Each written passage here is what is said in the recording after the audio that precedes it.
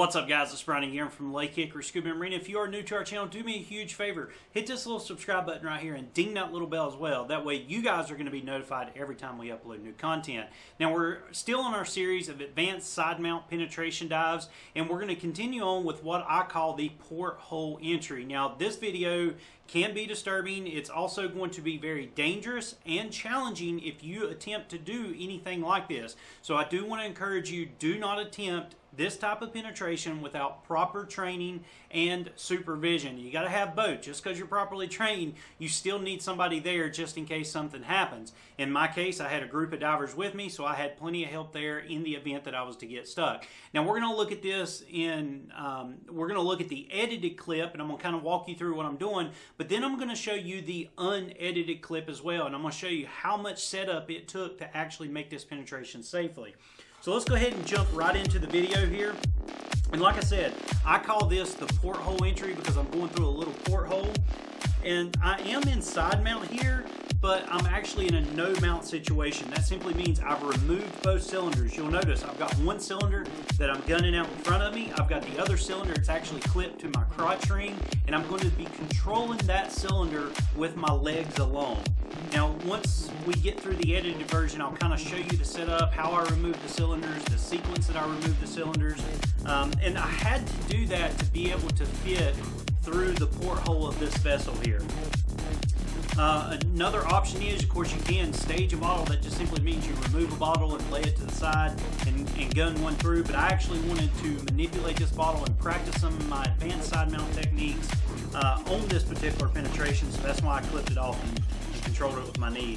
Now, one thing that you will notice as the camera kind of goes to the side, I'm not really stirring up anything. I'm not allowing that bottle to bang off the bottom of the vessel. As you can see, I'm clearly controlling that bottle with my legs and I'm keeping it up and out of the way.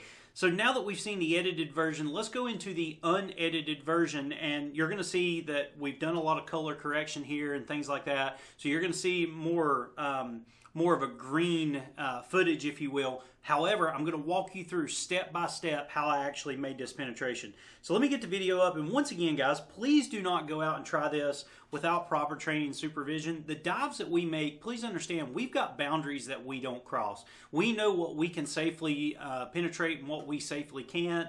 Uh, we've made these penetrations a, a buku of times. And, and like I said, we have a crew there with us when we're making these penetrations in case something happens, there to assist us. But let's go ahead and watch the unedited version of this, and I'm going to show you the entire setup here. Um, you will notice that as I approach this wreck, I'm really negotiating on whether or not I can do it, say, in a no mount situation where I just have one bottle or a no mount situation where I'm having to manipulate both bottles. And I'm actually going to go ahead and try to manipulate both bottles here.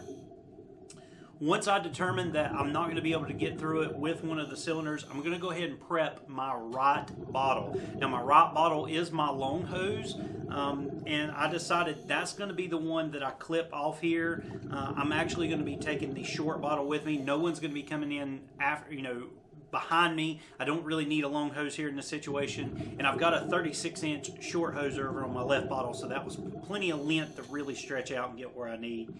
So I'm gonna go ahead and clip this off. I'm taking a spare double ender that I keep clipped on my right hand side here. I'm gonna clip it to the piece of paracord that I keep around the, the neck of my cylinders on my side mount bottles. I'm gonna go ahead and stow the long hose here and I'm gonna go ahead and clip off this bottle to my crotch D-ring and you're gonna see that bottle's just gonna drop straight down. I'm maintaining trim, maintaining buoyancy, and I'm not letting that bottle kind of stir up the bottom or you can bang up on the bottom. The key here is to protect your equipment anytime that you do something like this. So now that I've got that bottle temporarily prepped, uh, I'm going to go ahead and prep my left cylinder. Now with my left cylinder, what I'm actually going to do with it is I'm not going to wing it. I'm actually going to gun it out in front of me. So I removed my necklace or removed the hose. I'm going to go ahead and remove the bottle. And I have disconnected my buoyancy compensator here. One thing I want you guys to remember, you've got to have proper trim and buoyancy at all times. You need to be able to manipulate your buoyancy with your weighting and your breathing alone. Now I've actually secured my um, my right cylinder to my legs. I'm actually going to be manipulating it with my knees the entire time as I gun my left bottle through and I start to slowly navigate through the porthole here. You'll notice that here in a minute that bottle is going to shift and what I'm actually doing here is I'm shifting that bottle with my knees so that I can get it through the porthole without damaging anything and then I'm going to keep it locked in. Now, a cool thing about aluminum cylinders, aluminum cylinders get very floaty as you start to use them, especially in side mount, and because the heaviest part is the valve where my first stage's attached, what that allows me to do is actually use my legs to manipulate the back end of that bottle. I've just got to keep the front attached. That creates a pivot point, and then my body can kind of help keep the trim of the bottle. As I come up out of the vessel, I'm going to go ahead and re-secure my left cylinder, which is my short hose. Notice how I'm staying neutrally buoyant. I'm not bouncing up and down on the wreck there. Once I get this bottle back into position, then I'll go ahead and unclip the right bottle there and put it back, or attach it, if you will, reattach it. And like I said, guys, don't go out and try this without proper training. There are plenty of advanced side mount courses that you can take. There's overhead environment courses that you can take. But you do need to seek out a, a side mount instructor, and specifically a side mount instructor who is versed and who has training and experience in advanced side mount techniques. So now that I've got everything on the left cylinder situated, I'm going to go ahead and resituate my right cylinder here. I always start by clipping it off first, and that's just because of the side mount system I use. I use bungees to secure the top, so it's very easy just to snap off the, um, the bottom of the cylinder there. I'm going to go ahead and get my long hose adjusted and pull it out. I'm going to go ahead and get bungeed around, and then I'll resecure by doing the wrap with the long hose. Once all that is said and done, either switch back to it or, or snap it off. But yeah, that's the uh, porthole penetration here. It's actually one of my favorite ones to do just because it is very challenging.